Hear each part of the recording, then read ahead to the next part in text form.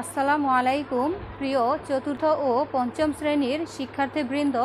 আশা করি আল্লাহর অশেষ রহমতে তোমরা ভালো আছো। আজ আমরা আলোচনা করব ভগ্নাংশের অঙ্ক কীভাবে সমাধান করতে হয়। তো ভগ্নাংশের অঙ্কগুলোকে আমরা দুই, আমি দুইটা পার্টে ক্লাসটি নিচ্ছি। পার্ট ওয়ানে আমরা আলোচনা করব যে ভগ্নাংশের যে প্রাথমিক আলোচনাগুলো আছে। যে ভগ্নাংশ কি? প্রকারভেদ ভগ্নাংশ চিহ্নিতকরণ, ভগ্নাংশ স্থানান্তর, ভগ্নাংশের যোগ এবং বিয়োগ। এগুলো সম্পর্কে আমরা আজকে আলোচনা করব। তো তোমাদের পাঠ্য বইয়ের অনুশীলনী ছয়ের ক থেকে ভগ্নাংশ সম্পর্কে আমরা আজকে আলোচনা করব।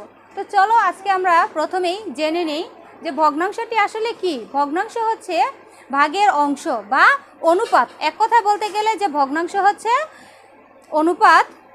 আর যদি বলি যে ভগ্নাংশ কাকে বলে বা সংজ্ঞাটা যদি আমরা শিখি, তাহলে সংজ্ঞাটি হবে এরকম যে কোনো বস্তু বা পরিমাণের অংশ নির্দেশ করতে যে সংখ্যা ব্যবহৃত হয়, তাকে ভগ্নাংশ বলে বা তাই ভগ্নাংশ।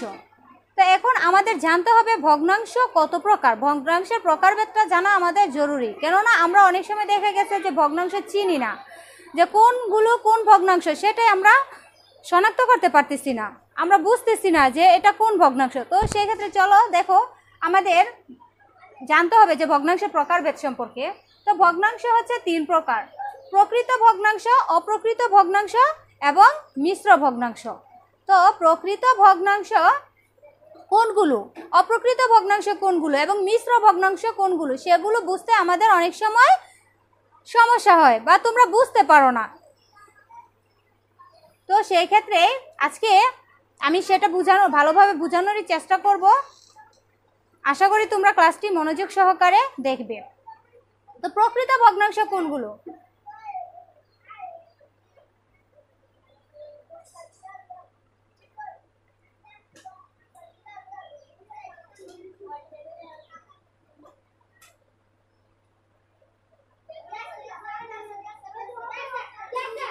প্রকৃত ভগ্নাংশ হচ্ছে যে ভগ্নাংশের হর, বড়, লব, ছোট, সেগুলো হচ্ছে প্রকৃত ভগ্নাংশ। অর্থাৎ একা এক মানে একাধিক থাকতে পারে ভগ্নাংশ। প্রকৃত ভগ্নাংশ একাধিক থাকতে পারে সেক্ষেত্রে যেমন ধরো, হর মানে হর যদি বড় হয়, সেক্ষেত্রে আমাদের বুঝতে হবে যে এটা প্রকৃত ভগ্নাংশ। হর বড়, লব ছোট। আর অপ্রকৃত ভগ্নাংশ হচ্ছে যে ভগ্নাংশের হর ছোট লব বড়। অর্থাৎ আমি এই ভগ্নাংশগুলোকে উল্টে দিচ্ছি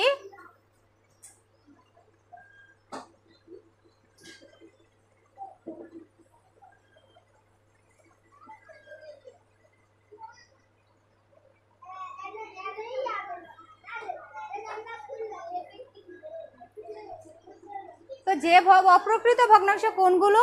যে ভগ্নাংশের হর, ছোট, লব, বড়, সেগুলো হচ্ছে অপ্রকৃত ভগ্নাংশ। আর যে ভগ্নাংশের হর, বড়, লব, ছোট, সেগুলো হচ্ছে প্রকৃত ভগ্নাংশ। আর মিশ্র ভগ্নাংশ কোনগুলো? যে একটি পূর্ণ সংখ্যার সাথে যদি একটি প্রকৃত ভগ্নাংশ থাকে, সেটি হচ্ছে মিশ্র ভগ্নাংশ। যেমন এক সমস্ত দুই ভাগের এক, দুই সমস্ত তিন ভাগের দুই, ঠিক একই রকমভাবে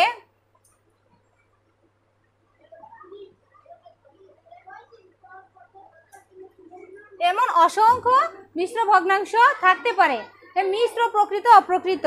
তো তোমাদের আশা করি এখন আর সমস্যা হবে না যে ভগ্নাংশগুলো চিনতে। এখন আমাদের গেল ভগ্নাংশ চিহ্নিতকরণ আমরা চিনলাম যে হ্যাঁ যে যে ভগ্নাংশের হর বড়, লব ছোট সেটি প্রকৃত ভগ্নাংশ। আর যে ভগ্নাংশের লব লব বড়, হর ছোট, সে ভগ্নাংশটি হচ্ছে অপ্রকৃত ভগ্নাংশ। আর একটি পূর্ণ সংখ্যার সাথে যদি একটি প্রকৃত ভগ্নাংশ থাকে সেটি হচ্ছে মিশ্র ভগ্নাংশ। তো এখন আমরা শিখব যে অপ্রকৃত ভগ্নাংশ। অপ্রকৃত ভগ্নাংশকে মিশ্র ভগ্নাংশে রূপান্তর। অপ্রকৃত ভগ্নাংশকে কীভাবে মিশ্র ভগ্নাংশে রূপান্তর করতে হয়, সেটি আজকে আমরা শিখব। তো অপ্রকৃত ভগ্নাংশকে যদি আমাদের মিশ্র ভগ্নাংশে রূপান্তর করতে হয়, সেই ক্ষেত্রে আমাদের একটি সূত্র আছে। অবশ্যই সেই সূত্রটি আমাদের জানা থাকতে হবে। সূত্রটি হচ্ছে এমন, নিচে হর উপরে সরি অপ্রকৃত ভগ্নাংশ। যে হরকে লব দিয়ে যদি ভাগ করি সেই ক্ষেত্রে আমরা মিশ্র ভগ্নাংশ পাবো।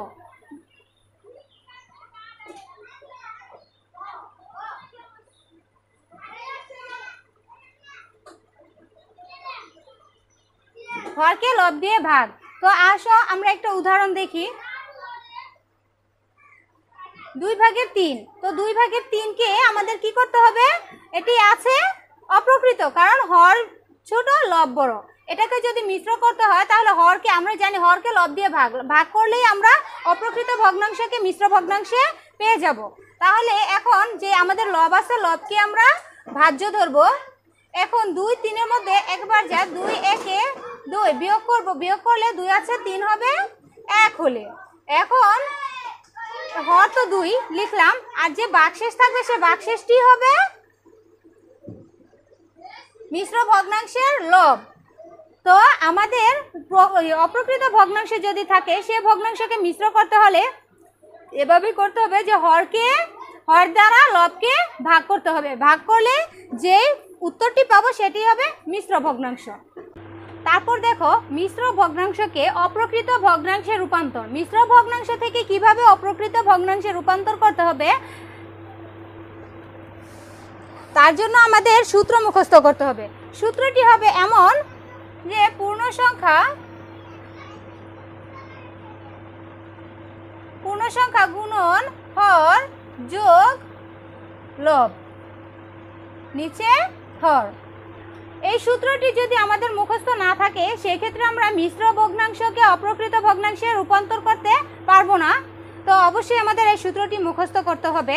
তাহলে দেখো একটি মিশ্র ভগ্নাংশ আমি লিখলাম।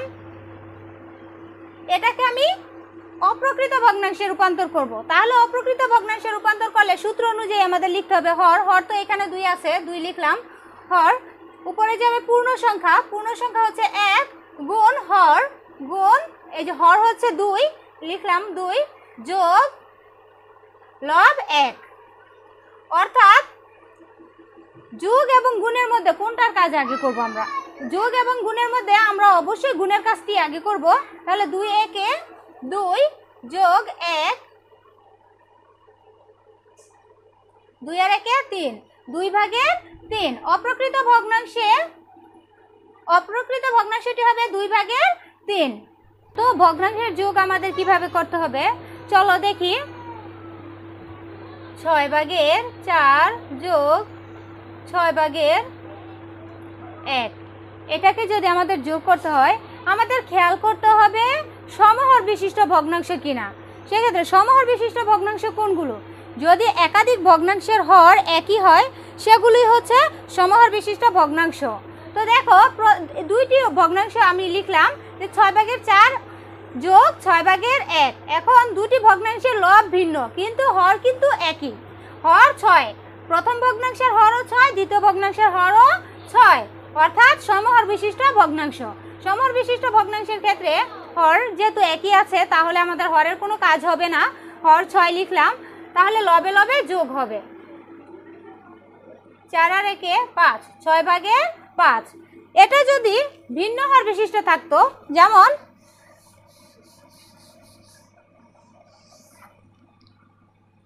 ছয় ভাগের চার, আর এটা লিখলাম আট ভাগের এক এখানে কিন্তু হর ভিন্ন। এটা কিন্তু সমহর বিশিষ্ট ভগ্নাংশ না। সেক্ষেত্রে আমাদের কীভাবে ভগ্নাংশের যোগগুলো করতে হবে? সেক্ষেত্রে আমাদের করতে হবে যে ছয় এবং আটের লসাগু বের করতে হবে। অর্থাৎ ভগ্নাংশের যতটি যতটি ভগ্নাংশই থাকুক, প্রত্যেকটি ভগ্নাংশের হর, সবগুলো ভগ্নাংশের হরের লসাগু বের করতে হবে। হরের লসাগু হচ্ছে এখানে দুটি ভগ্নাংশ আছে। তাহলে দুটি ভগ্নাংশের হর হচ্ছে একটি ছয় এবং অপরটি হচ্ছে আট। তো এখন ছয় এবং আটের লসাগু যদি আমরা বের করি, তাহলে এমন একটি সংখ্যা নিতে হবে, যে সংখ্যা দিয়ে ছয় এবং আট, উভয় সংখ্যাকে ভাগ করা যায়। মানে উভয় সংখ্যায় বিভাজ্য। যেমন ধরো দুই দুই নিলাম, দুই দিয়ে যদি ছয়কে ভাগ করি, তিন, আটকে ভাগ করলে হবে চার। যেহেতু তিন এবং চার কে ভাগ করা যায়, এমন কোনো সংখ্যা নেই, তাহলে এগুলো আমরা কি করব? গুণ করব। তাহলে দুই গুণন তিন গুণন চার, তিন দুগুণে ছয়, চার ছয় চব্বিশ। তাহলে হর হবে চব্বিশ। আরে, যে দুটি ইয়ে ভগ্নাংশের যে হর আছে, হরগুলোর লসাগুই হবে উক্ত ভগ্নাংশের হর। তাহলে দেখো, চব্বিশ। চব্বিশকে কি করতে হবে? ছয় ধারা ভাগ করতে হবে। চব্বিশকে প্রথম ভগ্নাংশের লব যদি আমাদের বের করতে হয়, সেক্ষেত্রে প্রথম ভগ্নাংশের হর দ্বারা ভাগ করব কাকে? লসাগুকে। হরগুলোর লসাগুকে, যেমন হরগুলোর লসাগু হচ্ছে চব্বিশ, চব্বিশকে ছয় দ্বারা ভাগ করব। প্রথম ভগ্নাংশের হর হচ্ছে ছয় ছয় দ্বারা ভাগ করলে কত হবে? চারশো চব্বিশ। তারপর হচ্ছে লব লব দ্বারা গুণ করব।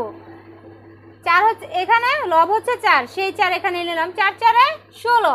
তাহলে প্রথম ভগ্নাংশের লব হলো ষোলো। অর্থাৎ হরগুলোর লসাগুকে প্রথম ভগ্নাংশের হর দ্বারা ভাগ এবং লব দ্বারা গুণ করলে যেই সংখ্যাটি পাব, সেটি হবে প্রথম ভগ্নাংশের লব। অনুরূপভাবে, দেখো, চব্বিশকে দ্বিতীয় ভগ্নাংশের হর হচ্ছে আট। আট দিয়ে আমরা ভাগ করব। আট দিয়ে ভাগ করলে তিন আটা, চব্বিশ। তাহলে তিন। তারপর হচ্ছে লব হচ্ছে এক। এক দিয়ে গুণ করব। তাহলে তিন একে তিন। এখন যদি আমরা উপরে লবে লবে যোগ করি, তাহলে হবে ছয় আর তিন নয়। হাতে কিছু নেই, একের এক। চব্বিশ ভাগের উনিশ। তো দেখো, ভগ্নাংশের যোগ তো আমরা শিখলাম। তো যদি সমহর বিশিষ্ট ভগ্নাংশ থাকে, সেক্ষেত্রে আমাদের যোগ বা বিয়োগ করতে কোনো সমস্যা হবে না। যদি যোগ থাকে, সেক্ষেত্রে লবে লবে যোগ করে দিব। আর যদি বিয়োগ থাকে, সেক্ষেত্রে লবে লবে আমরা বিয়োগ করে দিব। এখন দেখো। ভগ্নাংশের বিয়োগ। বিয়োগের ক্ষেত্রে এই সংখ্যা দিয়ে যদি আমরা বিয়োগ করি, তখন কীভাবে করব? সেই ক্ষেত্রে একই রকম হবে যে আট এবং ছয়ের লসাগু আমরা বের করব। আট এবং ছয়ের লসাগু হচ্ছে চব্বিশ। চব্বিশকে ছয় দ্বারা ভাগ করলে চার চার, চারে ষোলো, লব দিয়ে গুণ করলে হবে ষোলো। বিয়োগ তখন যোগ চিহ্ন ছিল, সেজন্য আমরা যোগ করেছি। এখন বিয়োগ চিহ্ন আছে, সেজন্য আমরা বিয়োগ করতেছি। কিন্তু কাজটা কিন্তু একই। মানে আমাদের একই নিয়মে করতে হবে। যদি যোগ থাকে, সেক্ষেত্রে আমরা যোগ করব। আর যদি বিয়োগ থাকে, সেক্ষেত্রে আমরা বিয়োগ করব। তাহলে ষোলো থেকে যদি তিন বাদ দেই, তাহলে হবে তেরো। ষোলো ভাগের তেরো তেরো। তো প্রিয় শিক্ষার্থী বন- বন্ধুরা, আশা করি তোমরা ভগ্নাংশের যে প্রাথমিক যে আলোচনাগুলো, সেই আলোচনা থেকে তোমরা অবশ্যই বুঝতে পারছ আসলে ভগ্নাংশটা কি এবং ভগ্নাংশের যোগ বিয়োগ এবং অঙ্কগুলো কীভাবে করতে হবে। ভগ্নাংশ কি মানে চিহ্ন, চিহ্নিতকরণ, যে ভগ্নাংশ চেনা, যে কোনগুলো কোন ভগ্নাংশ। আশা করি এই ক্লাস থেকে তোমরা সেগুলো সম্পর্কে ধারণা পাবে।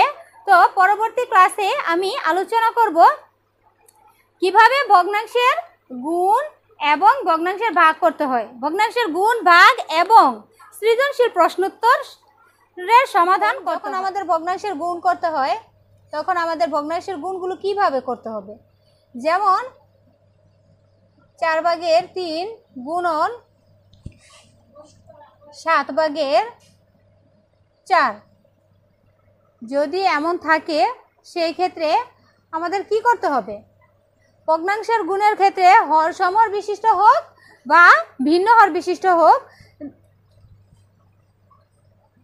সেটা খেয়া সেটা কোনো প্রভাব পড়বে না, কারণ নিয়মটা আমাদের একই থাকবে এবং একইভাবে সমাধান করতে হবে। যেমন চার ভাগের তিন এবং সাত ভাগের চারকে কীভাবে আমরা গুণ করব? গুণ করার ক্ষেত্রে আমাদের হরের সাথে হর গুণ এবং লবের সাথে লব গুণ করতে হবে।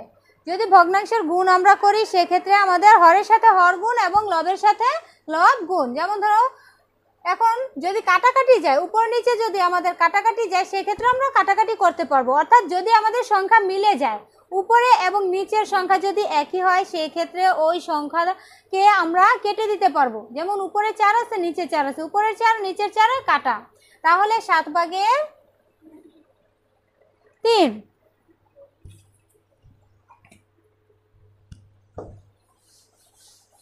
তো আরেকটি অঙ্ক যদি আমরা দেখি, আট ভাগের পাঁচ গুণন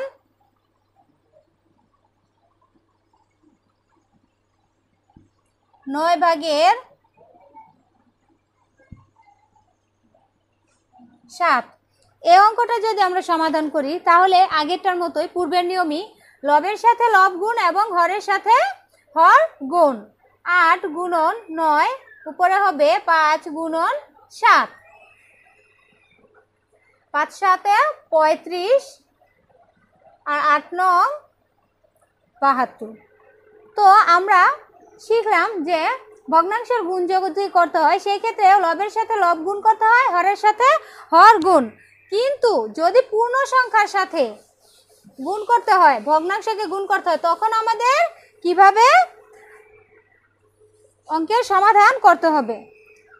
যেমন তিন ভাগের দুই গুণন চার। এখন আগেরটাতে ছিল যে এটাও ভ- প্রথমটিও ভগ্নাংশ ছিল, দ্বিতীয়টিও ভগ্নাংশ ছিল। কিন্তু এখন দ্বিতীয়টি হচ্ছে পূর্ণ সংখ্যা প্রথমটি হচ্ছে ভগ্নাংশ। যদি প্রথমটি ভগ্নাংশ হয়, দ্বিতীয়টি পূর্ণ সংখ্যা থাকে, সেই ক্ষেত্রে আমাদের একই কাজ করতে হবে। এটাকে মনে মনে আমরা এক ধরবো।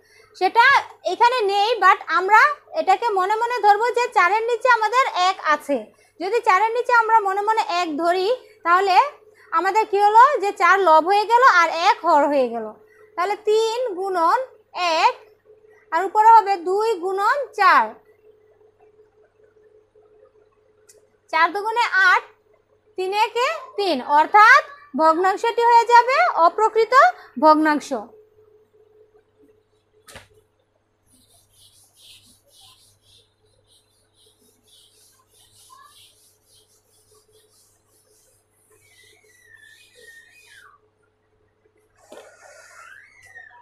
এখন ভগ্নাংশের ভাগ কীভাবে করতে হয় সেটাই আমরা শিখব।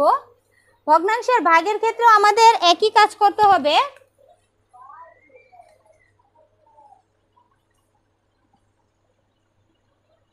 তিন ভাগের দুই ভাগ নয় ভাগের আট।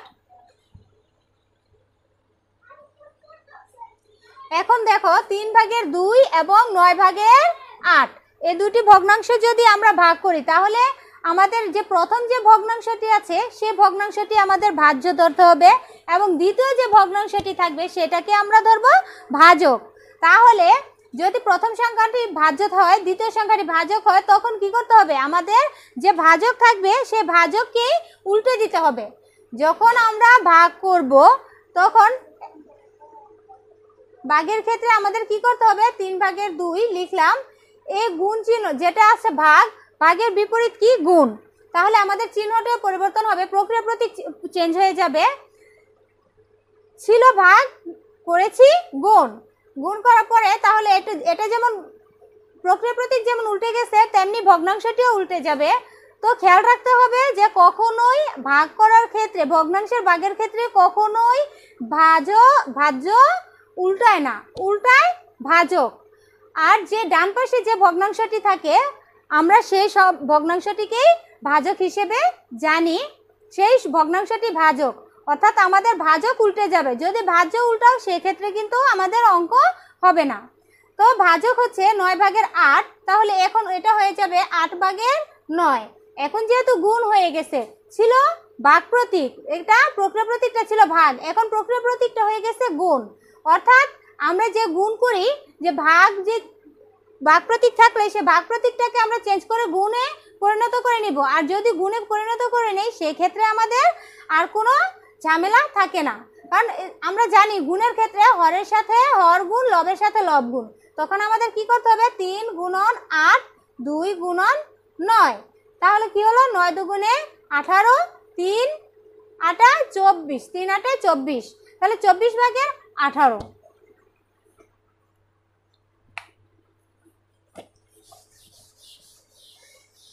এটা গেল ভগ্নাংশের সাথে ভগ্নাংশ কীভাবে ভাগ করতে হয়? তো এখন যদি আমরা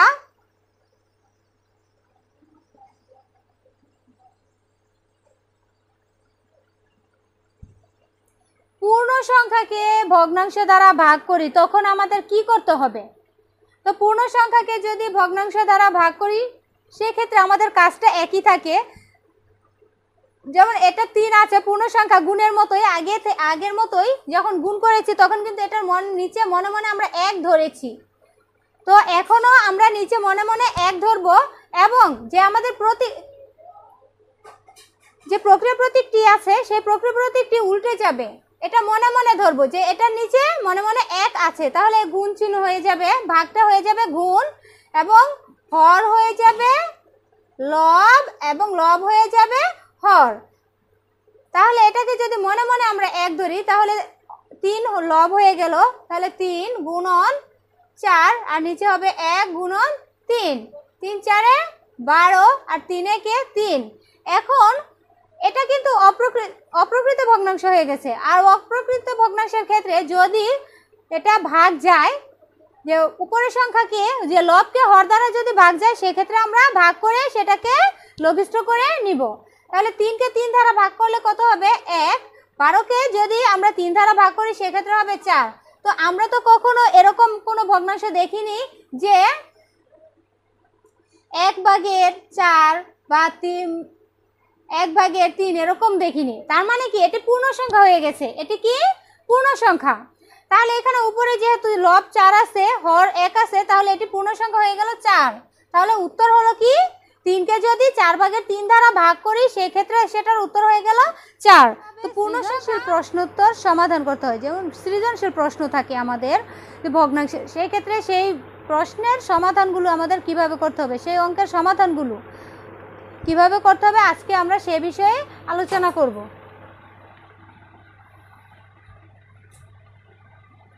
তো দেখো, আমি একটি সৃজনশীল প্রশ্ন বোর্ডে তুলেছি যে ফরহাদ দিনের চার ভাগের এক অংশ পড়ালেখা, বারো ভাগের এক অংশ খেলাধুলা ও অবশিষ্ট সময় অন্যান্য কাজ করে। কয়ে বলা আছে যে ফরহাদ মোট কত অংশ পড়ালেখা ও খেলাধুলায় ব্যয় করে? অর্থাৎ চার ভাগের এক অংশ হচ্ছে সে পড়ালেখার কাজে ব্যয় করে, বারো ভাগের এক অংশ হচ্ছে সে খেলাধুলা করে।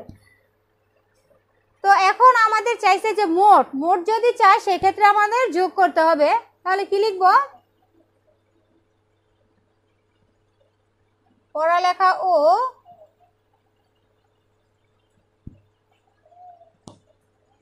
খেলাধুলায় ব্যয় করে যেহেতু মোট চেয়েছে, তাহলে আমাদের কি করতে হবে? সে ভগ্নাংশ দুটিকে যোগ করতে হবে। বারো ভাগের এক এবং চার ভাগের এককে আমরা যোগ করব। তো আগের ক্লাসেই আমরা শিখেছি যে কীভাবে ভগ্নাংশের যোগ বিয়োগগুলো করতে হয়। তো পার্ট ওয়ানে যে নিয়মগুলো আমরা শিখেছি, সেই নিয়ম থেকে আমি, নিয়ম অনুসারে আমি এই অঙ্কের সমাধানটি করব। যেমন চার এবং বারো। দুটি ভগ্নাংশ আছে, দুটি ভগ্নাংশের হর হচ্ছে একটি চার আর একটি বারো। এবং চা এখন কি করতে হবে আমাদের? চার এবং বারোর লসাগু বের করতে হবে। যেমন এমন একটি সংখ্যা নিতে হবে যে সংখ্যাটি চার এবং বারো উভয় সংখ্যাকে ভাগ করা যায়। তো যা চার নিলাম। চারকে চার দ্বারা ভাগ করলে এক, বারোকে চার দ্বারা ভাগ করলে তিন।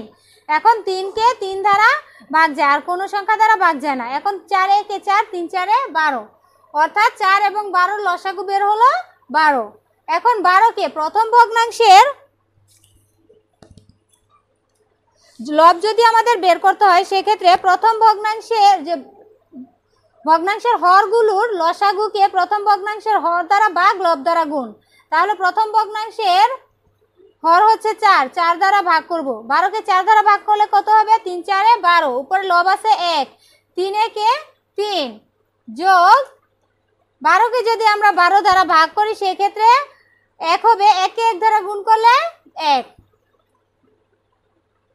তিন আর একে যোগ করলে চার, বারো ভাগের চার চার অংশ। সে পড়ালেখা ও খেলাধুলায় ব্যয় করে বারো ভাগের চার অংশ। খ নং প্রশ্নে বলা আছে যে, সে দিনের মোট কত অংশ অন্যান্য কাজ করে? যদি বলে যে সে দিনের কত অংশ অন্যান্য কাজে ব্যয় করে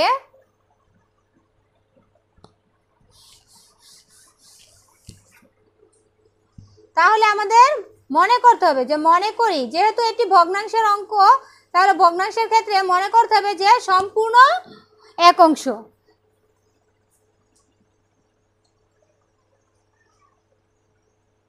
সম্পূর্ণ এক অংশ। ক হতে পাই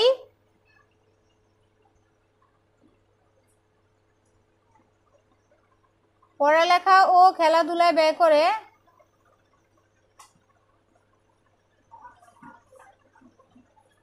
খেলাধুলায় ব্যয় করে বারো ভাগের চার অংশ অন্যান্য কাজে ব্যয় করে। অতএব অন্যান্য কাজে ব্যয় করে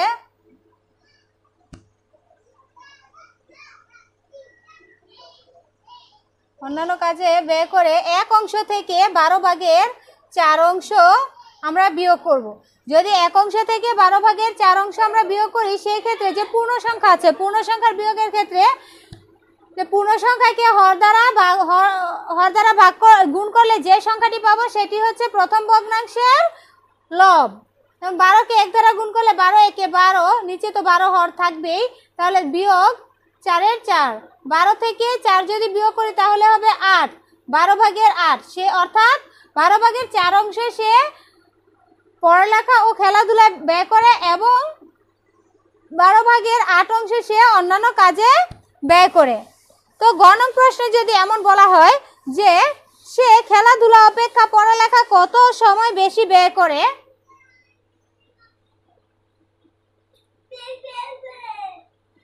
সে খেলাধুলা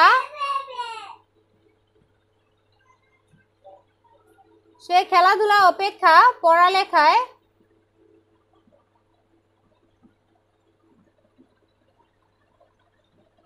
কত সময় বেশি ব্যয় করে?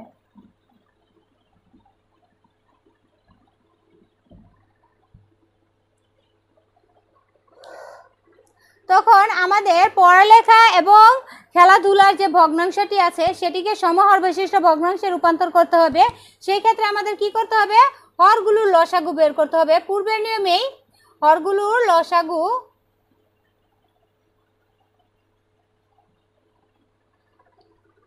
চার এবং বারো, বা চার এবং বারো লসাগু হচ্ছে বারো। তাহলে প্রথম ভগ্নাংশ, পড়ালেখার প্রথম ভগ্নাংশটি হবে বারো বাঘ প্রথম ভগ্নাংশের হর হচ্ছে চার। চার দ্বারা ভাগ করলে কত কত হবে? তিন।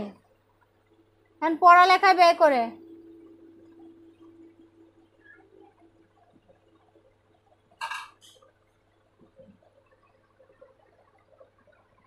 চার ভাগের এক যে ভগ্নাংশটি আছে, সে ভগ্নাংশটি আমরা লিখলাম। লিখার পরে যে ভাগ ফলটা বের করছি আমরা, সে ভাগফল দিয়ে এটাকে কি করব? গুণ করব। গুণ করলে কত বের হলো? তিন একে তিন তিন চারে বারো। বারো ভাগের তিন অংশ। অর্থাৎ বারো ভাগের তিন অংশ সে পড়ালেখায় ব্যয় করে। ঠিক একই রকমভাবে বারো ভাগ, তাহলে দ্বিতীয় ভগ্নাংশ, যেমন খেলাধুলা, খেলাধুলার ক্ষেত্রে যে বারো ভাগের এক অংশ, তাহলে বারোকে বারো দ্বারা যদি ভাগ করি এক, তাহলে ভগ্নাংশ ওটি ওইটাই থাকবে যে খেলাধুলায়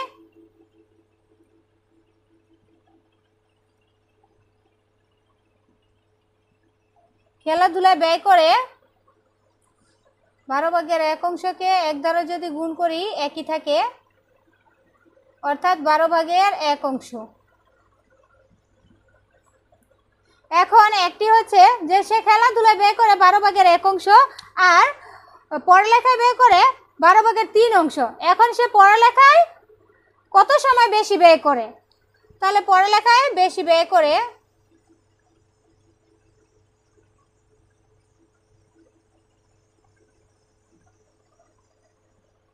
বারো ভাগের তিন থেকে বারো ভাগের এক আমরা বিয়োগ করব। তাহলে যেহেতু সমর বিশিষ্ট, ভগ্নাংশ সেক্ষেত্রে হরের কোনো কাজ হবে না, উপরে শুধু লবে লবে বিয়োগ হবে। তিন থেকে যদি আমরা এক বিয়োগ করি, তাহলে দুই হবে। বারো ভাগের সে দুই অংশ, বা এটাকে যদি লঘিষ্ঠ আকারে প্রকাশ করি, দুইকে দুই দ্বারা ভাগ করলে কত হবে? এক। বারোকে দুই দ্বারা ভাগ করলে কত হবে? ছয়। অর্থাৎ ছয় ভাগের এক অংশ। তোমাদের বোঝার সুবিধার্থে আমি আরও একটি সৃজনশীল অঙ্ক বুঝিয়ে দিচ্ছি। তো অঙ্ক যেভাবেই থাকুক, ভগ্নাংশের অঙ্কের নিয়মগুলো একই থাকবে। তোমরা যদি যোগ, বিয়োগ, গুণ এবং ভাগ ভালোভাবে পারো, অর্থাৎ ভগ্নাংশের যোগ, বিয়োগ, গুণ ভাগটা যদি তোমরা ভালোভাবে শিখে ফেলো, সেক্ষেত্রে তোমাদের সৃজনশীল অঙ্কগুলোতে কোনো প্রবলেম হবে না। তো চলো আমরা এই অঙ্কের সমাধানটি করি। রাকিব সাহেবের কাছে ষাট হাজার টাকা ছিল। তিনি তার টাকার দুই ভাগের এক অংশ তিন ছেলেকে এবং বারো ভাগের এক অংশ মেয়েকে দিলেন, বাকি টাকা নিজের জন্য রাখলেন। এখন প্রশ্ন হচ্ছে কোন প্রশ্ন বলা আছে যে, মেয়ে কত টাকা পেল? কিন্তু তার মোট টাকা, টাকার পরিমাণ হচ্ছে ষাট হাজার। তার মোট টাকার পরিমাণ হচ্ছে কি? ষাট হাজার টাকা। তাহলে কি লিখব? যে মোট টাকার পরিমাণ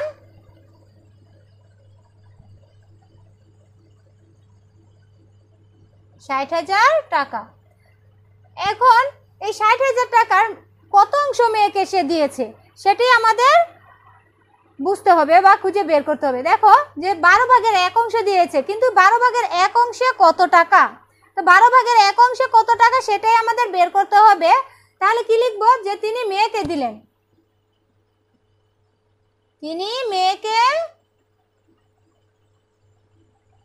দিলেন ষাট হাজার টাকা। তার যে মোট টাকাটা আছে, সেই ওই মোট টাকারই বারো ভাগের এক অংশ সে মেয়েকে দিয়েছে।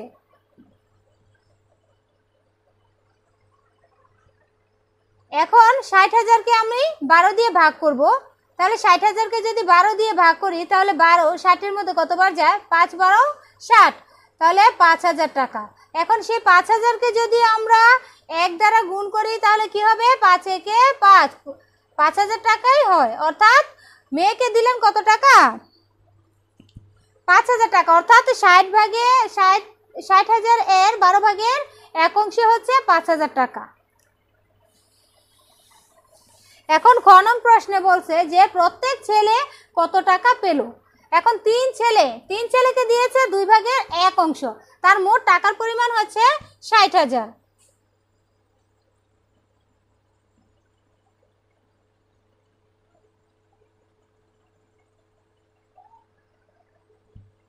ষাট হাজার টাকা। তিন ছেলেকে দিলেন। তিন ছেলেকে দিলেন দুই ভাগের এক অংশ। এখন এই দুই ভাগের এক অংশে কত টাকা হয় সেটাই আমাদের বের করতে হবে।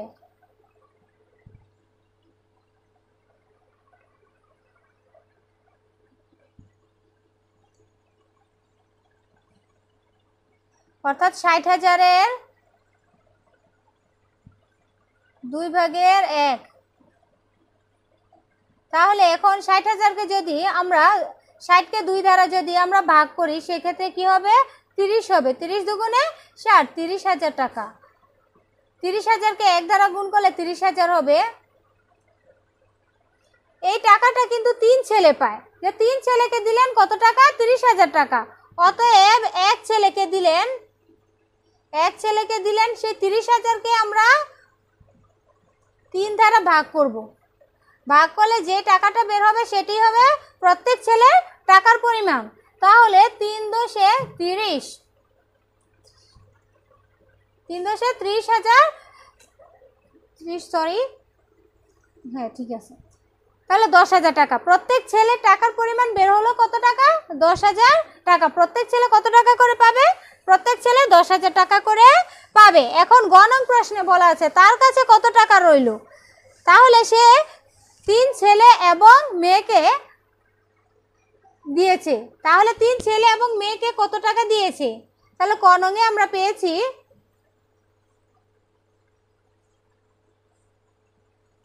কনক হাতে পাই মেয়েকে দিলেন?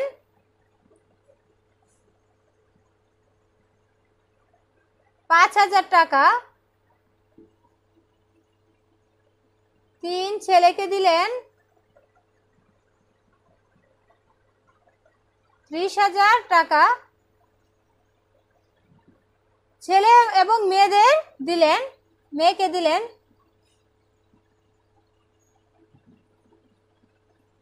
তিন ছেলেকে ও, তিন ছেলে ও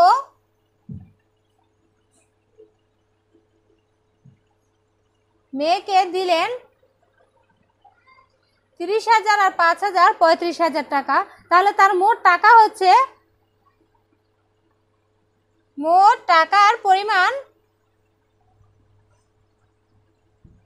ষাট হাজার। ছেলে মেয়েদের দিলেন?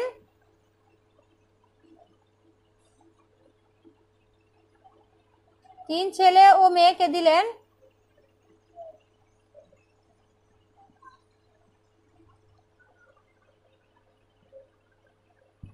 পঁয়ত্রিশ হাজার টাকা। এখন যে তার মোট টাকার পরিমাণটা আছে, সেই মোট টাকার পরিমাণ থেকে যদি ছেলে, তিন ছেলে এবং মেয়েকে যে টাকা দিয়েছে, সে টাকার পরিমাণটা যদি আমরা বাদ দিই, তাহলেই তার কাছে কত টাকা রইল, সেই টাকার পরিমাণটা আমরা পেয়ে যাব।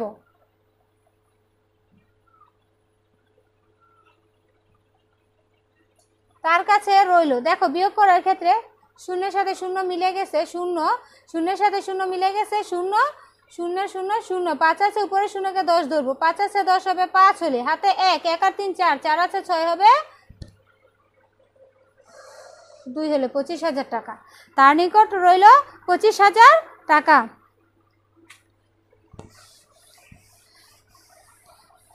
তো শিক্ষার্থীবৃন্দ, ভগ্নাংশের অঙ্কগুলো যেভাবেই থাকুক, যদি তোমরা বুঝতে পারো যে এটা যোগ হবে বা গুণ হবে, ভাগ হবে, সেই ক্ষেত্রে তোমরা সমাধানটা অবশ্যই করতে পারবে। তো তো তোমরা চেষ্টা করবে ভগ্নাংশের অঙ্কগুলো আসলে আগে বোঝার চেষ্টা করবে যে কি প্রশ্নে কি চেয়েছে। প্রশ্নে আমাকে কি করতে বলা হয়েছে, সেটাই যদি তোমরা বুঝতে পারো, তো যেভাবে যে অঙ্কই আসুক, ভগ্নাংশের সবগুলো অঙ্কের সমাধানই তোমরা করতে পারবে ইনশাল্লাহ তো আমি দুইটি সৃজনশীল অঙ্ক তোমাদের দেখিয়ে দিলাম। ওর একই রকমভাবে যেই অঙ্কই থাকুক, তোমরা যোগ, বিয়োগ, গুণ এবং ভাগ, এই চারটি প্রক্রিয়া যদি তোমরা শিখো ভগ্নাংশের, সেই ক্ষেত্রে তোমাদের কোনো প্রবলেম হবে না। তোমরা ভগ্নাংশের সবগুলো অঙ্কের সমাধানই করতে পারবে নিজে নিজে করতে পারবে।